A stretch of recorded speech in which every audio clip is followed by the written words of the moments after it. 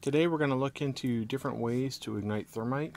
We're going to go with the standard sparklers first, just uh, as the control. We're going to try a little bit of gasoline. We're going to try a 9 volt battery. We're going to try a standard AC battery out of the wall. And we're going to try aluminum powder. Let's see how it goes.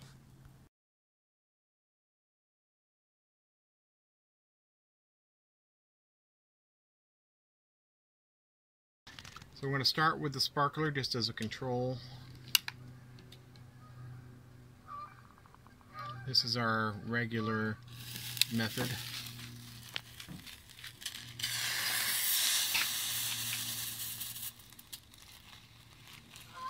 As you can see that was fairly quick and worked well.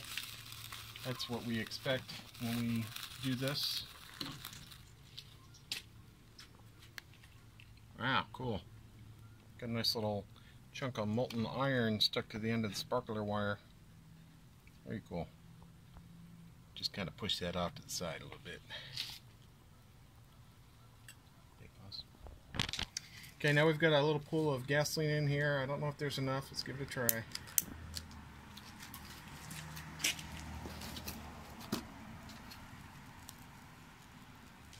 Well, definitely the gasoline's in there and it's burning, but it doesn't...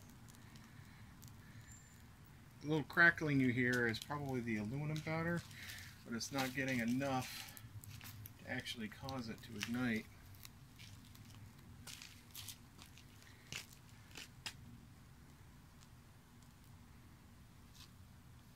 This is almost as exciting as watching paint dry.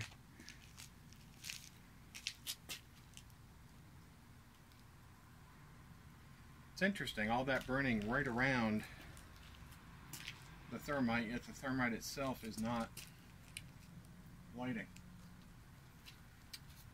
Guess we can say gasoline is not a good ignition source for thermite.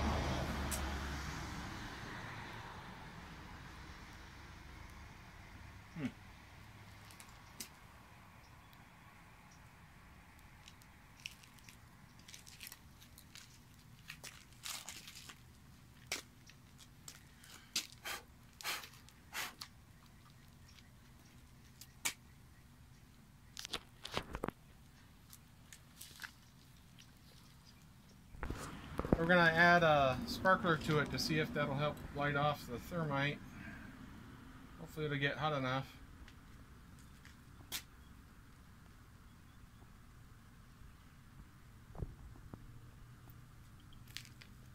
Might have to help it along some.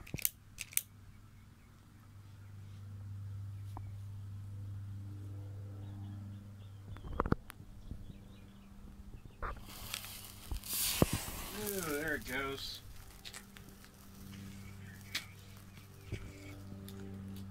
I missed the actual explosion.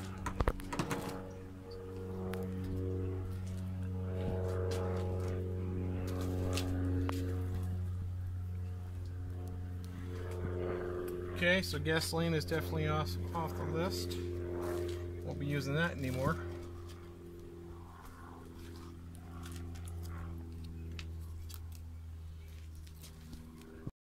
Okay, so we're going to try the aluminum powder next. I've got the thermite there, made a little divot for it.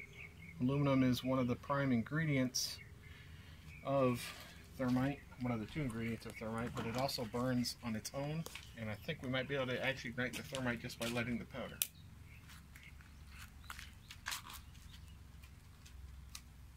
But what do I know? You can see there's some sparks coming up. The problem with aluminum is it quickly becomes aluminum oxide.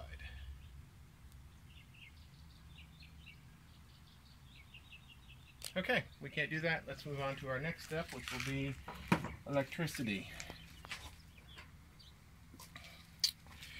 Just take this 9 volt battery and put it on either side of it.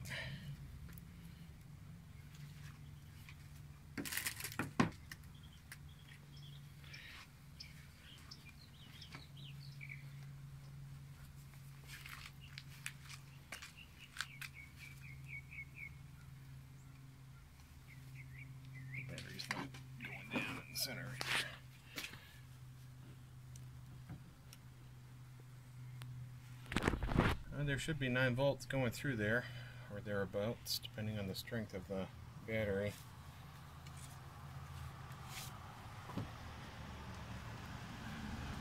Alright, let's try the big boys. Okay, now we're going to plug in some regular electricity and see how it goes. Go ahead. Don't worry about any popping noise.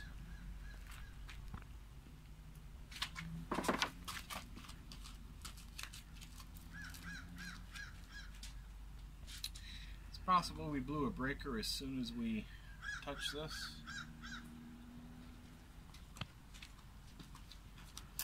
Yep, I guess we didn't.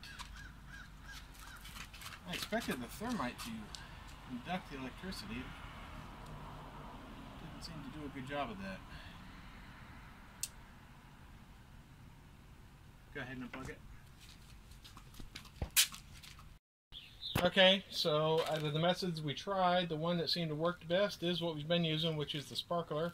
I do have another method I want to try, but I don't have what I need here to do it. it it's on its way though, so uh, that should be coming soon.